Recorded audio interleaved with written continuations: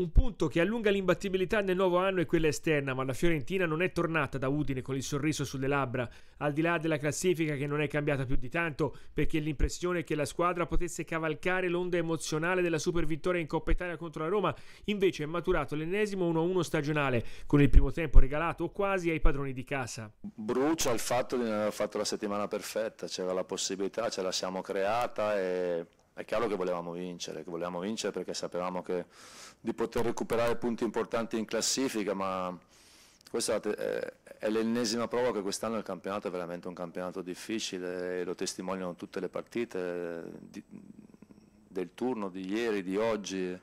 Gli avversari sono lì che lottano oggi, l'Udinese faceva tra virgolette la partita dell'anno, della vita per, per salvarsi, per uscire da una situazione difficile. Credo che noi abbiamo fatto uno sforzo importante. Già nel finale in effetti la vittoria poteva comunque arrivare per quelle occasioni non sfruttate per un soffio da Chiesa ed anche dal nuovo entrato Ceccherini. A proposito di subentri, dopo diverse partite alla Dacia Arena si è rivisto anche Piazza, ma il croato ha collezionato l'ennesima bocciatura.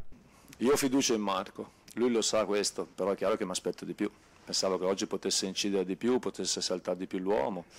Deve crederci lui, deve crederci lui e dimostrarlo poi con i fatti sul campo. Sono contento che sia rimasto, sono contento che sia rimasto con noi, è un ragazzo che lavora bene con la squadra, che sta bene dentro la squadra, credo che anche lui si renda conto che, che debba fare di più. Tempo per far ricredere tutti alle croato vice campione del mondo ne resta ancora, ma per il momento la sua stagione è fallimentare, mentre quella viola ancora tutta da scrivere a patto di non sprecare altre occasioni.